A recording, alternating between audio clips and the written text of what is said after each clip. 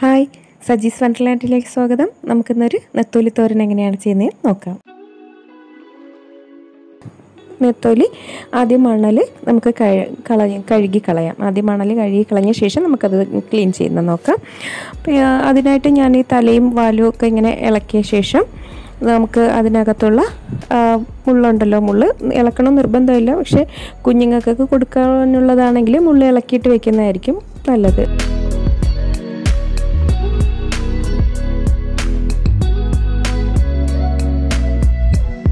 ഇത് ഞാനിത് ഇതുപോലെ ക്ലീൻ ചെയ്തെടുക്കുന്നുണ്ട്. മുള്ള് മാറ്റിയാണ് ഞാൻ ഈ തോരൻ വെക്കുന്നത്.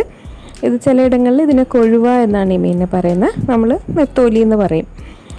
പിന്നെ ഇത് നന്നായിട്ട് കഴുകുക. ഇതെല്ലാം നല്ല ക്ലീൻ ചെയ്ത ശേഷം മൊത്തം നമുക്ക് കഴുകിയെടുക്കാം. ഇതിലേക്ക് ഞാൻ കുറച്ച് മഞ്ഞൾപ്പൊടിയും ഉപ്പും കൂടിയിട്ട് മൺചട്ടിയിലിട്ട് ഒന്നുകൂടി നന്നായിട്ട് കൈകൊണ്ട് തേച്ച ശേഷം വെള്ളം ഒഴിച്ച് രണ്ട് മൂന്ന് പ്രാവശ്യം കൂടി കഴുകിയെടുക്കുന്നുണ്ട്. അപ്പോൾ അതിന്റെ ആ സ്മെല്ലൊക്കെ അങ്ങ് പോയി കിട്ടും. ഇനി നമുക്ക് ഇതിലേക്ക് ചേർക്കുന്ന സാധനങ്ങളാണ്. ഇതിപ്പോൾ കഴുകി മാറ്റി വെച്ചിട്ടുണ്ട്. ഇനി ഒരു മുറി തേങ്ങ വേണം. അത് തിരികെ എടുക്കാം.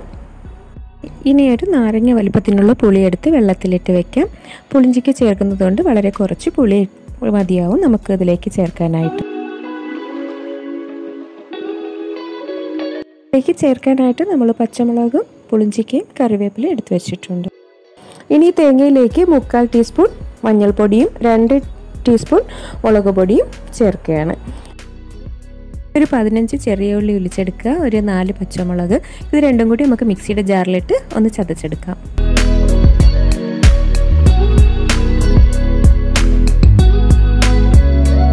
നമുക്കതിന് ഈ മൺചട്ടിയിലേക്ക് തന്നെ ഈ ഇത് മാറ്റിയ ശേഷം ഞാനിതിലേക്ക് ഇടുകയാണ്.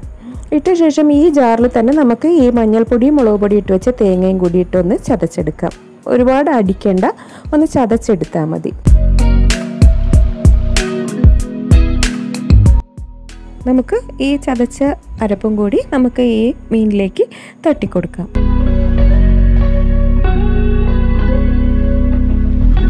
ഞാൻ മിക്സിയുടെ ജാറൊന്ന് ചെറുതായിട്ടൊന്ന് കഴുകി കുറച്ച് വെള്ളം ഒരു കാൽ ഗ്ലാസ് വെള്ളം ഒഴിച്ച് കഴുകി അതിലേക്കൊന്ന് ഒഴിച്ചു കൊടുക്കാം. ഇനി ഇതിലേക്ക് ആ പുളിയുടെ വെള്ളവും കൂടി നമുക്ക് ഒഴിച്ചു കൊടുക്കാം. പുളിയുടെ വെള്ളം തരിയില്ലാതെ നമുക്കതൊന്ന് അരിച്ചൊഴിച്ചു കൊടുക്കാം. ആവശ്യത്തിന് ഉപ്പിട്ട് കൊടുക്കണം. കറിവേപ്പില ഇട്ട് കൊടുക്കാം.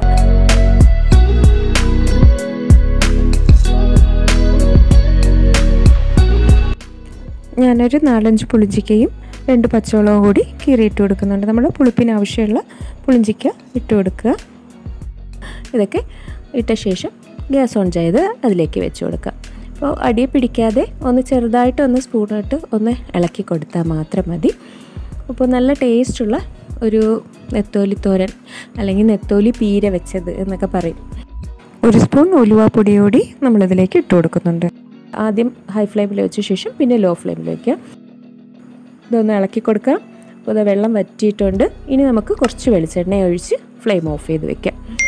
കുറച്ച് നേരം മൂടി വെച്ച ശേഷം അതൊന്ന് അടപ്പ് മാറ്റി ഒന്നുകൂടി ഒന്ന് ഇളക്കി നോക്കുക നിരത്തി കൊടുക്കുക. അപ്പോൾ സെർവിങ് പ്ലേറ്റിലോട്ട് നമുക്ക് മാറ്റാം. അപ്പോൾ വീഡിയോ ഇഷ്ടമായാൽ ലൈക്ക് ചെയ്യുക സബ്സ്ക്രൈബ് ചെയ്യുക. വീഡിയോ ഇഷ്ടമായിട്ടില്ലെങ്കിൽ ഡിസ്ലൈക്ക് ചെയ്യുക. ഓക്കെ നല്ലൊരു നെത്തോലിത്തോരം കിട്ടിയിട്ടുണ്ട്. എല്ലാവരും ഈ റെസിപ്പി ചെയ്തു വെക്കുക. വീഡിയോ വാച്ച് ചെയ്തതിന് താങ്ക്